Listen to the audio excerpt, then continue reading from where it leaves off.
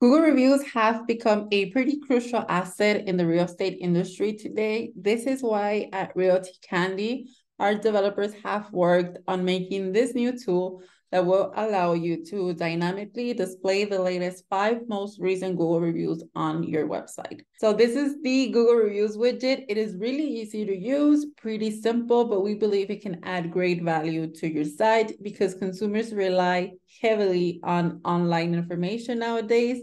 So having positive reviews will help your consumers trust you. So I'm going to show you just how easy it is to set it up and how it would look on a website. You can find this widget where we store all of our other apps and tools over at idxaddons.com. Um, and so right here, this is how it would look like. It will ask you to enter the name of your business just as it appears on Google Maps.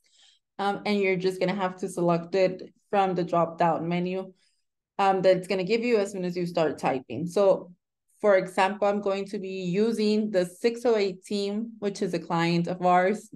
Um, you would want to use the name here.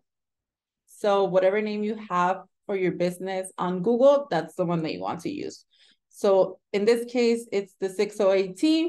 You're going to start typing here, the 608 team, and it's going to give you the option to select from the drop-down menu. You're going to select that one, you're going to click save and it's going to give you a code snippet. That's all you have to do. Um, and then you're going to have to copy this code and paste it on your website, wherever you want the widget to appear.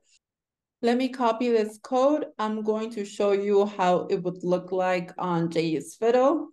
Um, so we're just going to paste the code over here, click run. And this is how it would look like. It's going to display the latest reviews that you have on your website.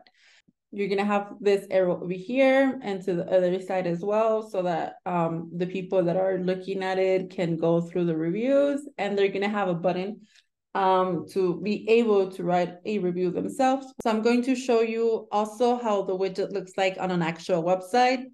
Um, this is Real AB, and they are already using the Google Reviews widget. So this is how it looks like. If you click on write a review, um, it's going to take you to the business on Google so that you can write a review.